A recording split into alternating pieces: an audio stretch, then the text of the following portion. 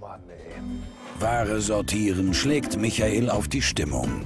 Und das bekommen auch die Mitarbeiter zu spüren. Basti, ich kann nicht verstehen, warum du nicht diesen ganzen Scheiß da rausschneidest und ein Blech reinmachst. nur oberflächlich. Oberflächlich, das ist doch nicht oberflächlich. Das sieht doch aus, als hätten Italiener mit dem Eislöffelchen das da rausgekratzt. So, komm her, was machst du? Jetzt nicht. Aha, setz nix. Sehr gut.